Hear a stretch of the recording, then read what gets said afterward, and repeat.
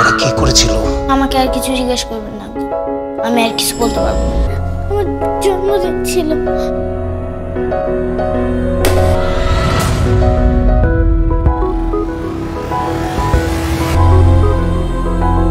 তারা এসেছিল। এটা গামছা বেচানো ছিল ওদের।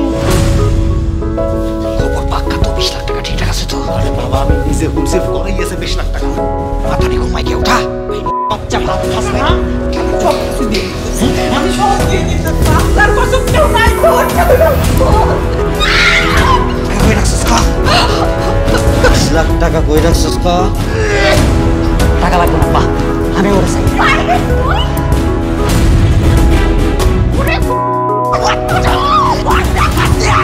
চিনতে পেরেছ তুমি?